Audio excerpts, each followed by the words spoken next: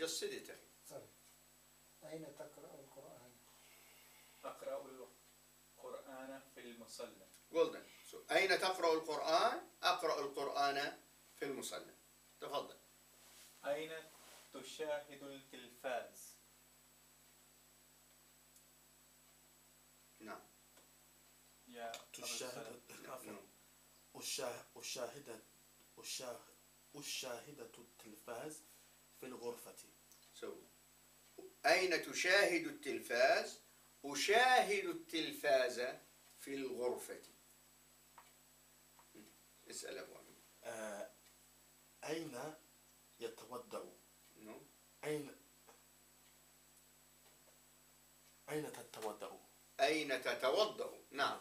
أتوضأ في الحمام أتوضأ في الحمام. إذا أين تتوضأ؟ أتوضأ في الحمام. أين تغسل الأطباق أغسل الأطباق في المطبخ Well done. أين تغسل الأطباق؟ أغسل الأطباق في المطبخ. نعم. أين تنام؟ أنام في الغرفة النوم أين تنام؟ أنام في غرفة النوم. You don't say في الغرفة النوم. في في. غرفة النوم. نعم. آه، أين تغسل تغسل تغسل الملابس أغسل الملابس في الحمام نعم. أين تغسل الملابس؟ أغسل الملابس في الحمام. واضح يا أخوان؟ واضح. إذا remember when you ask you use like تفعل تصلي تقرأ تشاهد تتوضأ تغسل الأطباق ينام تغسل الملابس when you answer أقرأ القرآن أشاهد التلفاز أتوضأ أغسل الأطباق أنام أغسل الملابس And the next one is to know how we ask المذكر and how we ask المؤنث. So when I ask المذكر I say ماذا تفعل؟ and الجواب أقرأ القرآن. أكتب الدرس أغسل الملابس أكوي الملابس أغسل الأطباق أكنس الغرفة and so on. If I ask مؤنث then I say ماذا تفعلين؟ And the answer is the same. أقرأ القرآن أكنس الغرفة أغسل الملابس أكوي الملابس أغسل الأطباق أكتب الدرس and so on. Now remember here again that the verb under the pictures are the default هو So when you ask you don't say ماذا تكنس no you say ماذا تفعل الجواب أكنس الغرفة ها؟ ماذا تفعلين the second one أشاهد التلفاز واضح؟ So the question in all of them you say ماذا تفعل للمذكر؟ ماذا تفعلين للمؤنث? الجواب you use أفعل أكنس أشاهد أقرأ and so on. واضح how we do it أوكي يلا ابي يا عبد السلام. ماذا تفعل؟ نعم. أقرأ القرآن. No no. The picture the first picture. أقنص. الغرفة. الغرفة. الغرفة so ماذا تفعل أكنس الغرفة؟ next. ماذا تفعلين؟ تشاهد no أشاهد التلفاز. أشاهد التلفاز. So ماذا تفعلين؟ أشاهد التلفاز. نعم. اسأل يا ابن أمري آه، ماذا تفعل؟ أقرأ أقرأ الصحيفة. ماذا تفعل؟ أقرأ الصحيفة. تفضل. ماذا تفعل؟ أكوي الملابس. well done ماذا تفعل؟ أكوي الملابس. ماذا تفعلين؟ آه، أغسل الأطباق. ماذا تفعلين؟ أغسل الأطباق. أغسل الأطباق. نعم. ماذا تفعل؟ أقرأ أقرأ كتاب. أقرأ ال- أقرأ الكتاب. ماذا تفعل؟ أقرأ الكتاب. إذا when I ask مذكر I say ماذا أقول؟ ما- ماذا تقرأ؟ ماذا تفعل؟ تفعل. ماذا تفعل؟ إذا أردت أن أسأل مؤنث ماذا أقول؟ تفعلين. ماذا تفعل؟ تفعلين. إذا إذا أردت أن أسأل مذكر أقول ماذا تفعل؟ المؤنث ماذا تفعل؟ تفعلين. الجواب the same. If it is أقرأ أقرأ for both. أغسل for both. أكوي for both. And so on. Next now. التدريب أربعة. تبادل السؤال والجواب مع زميلك.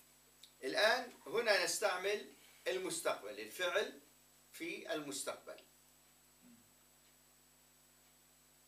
ماذا ستكنس؟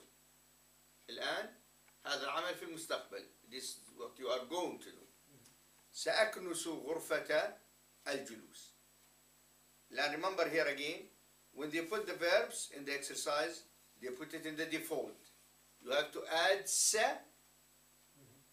and ta for the question and sa and a for the أنسى answer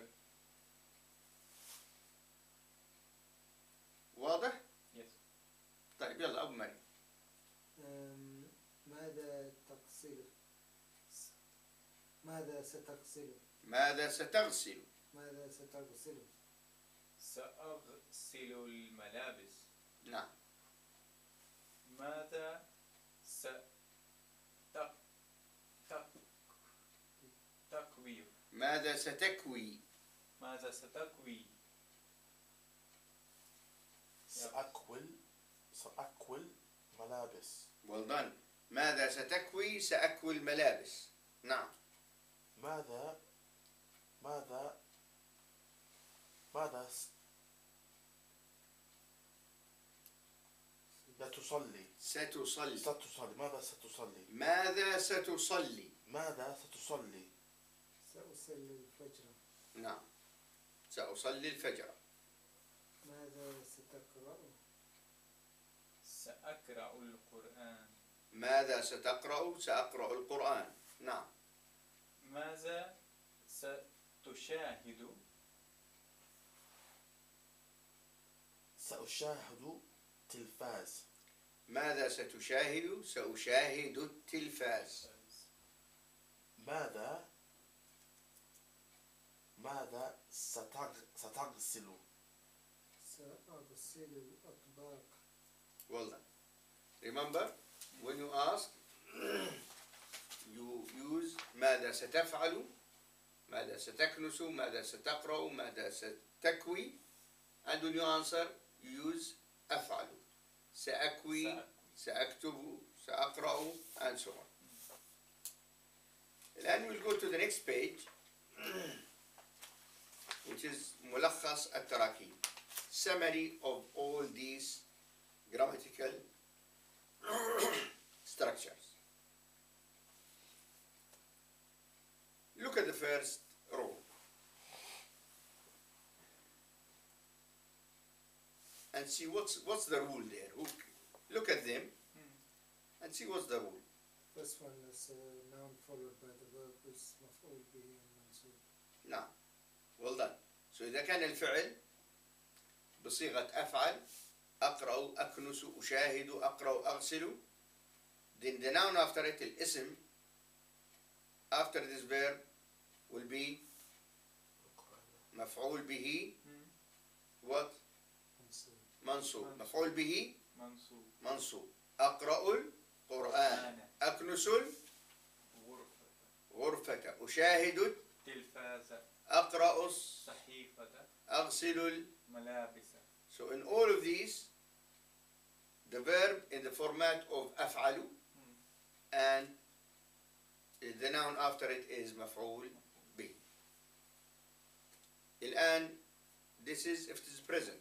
yes If it is future المستقبل what we add سين س. So it will be the same. The same rule applies. سأقرأ القرآن Huh? سأقرأ القرآن Or سأشاهد التلفاز. سأقرأ الصحيفة. سأغسل الملابس.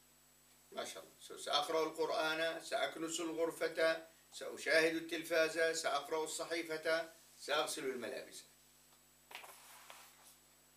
الآن when I'd like to ask what are you doing? So I use the question ماذا؟ ماذا؟ followed by الفعل.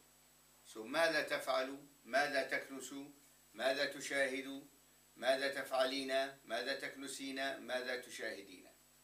So المذكر تفعل تشاهد تش... آه، تكنس.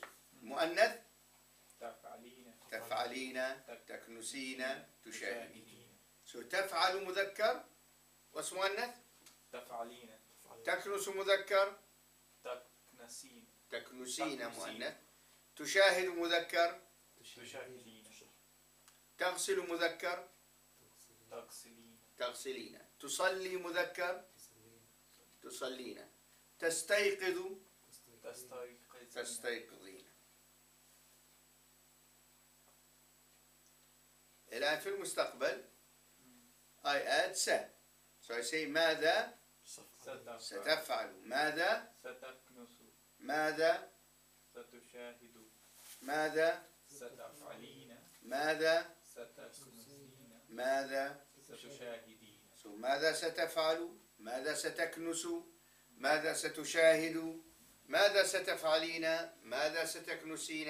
and ماذا ستشاهدين.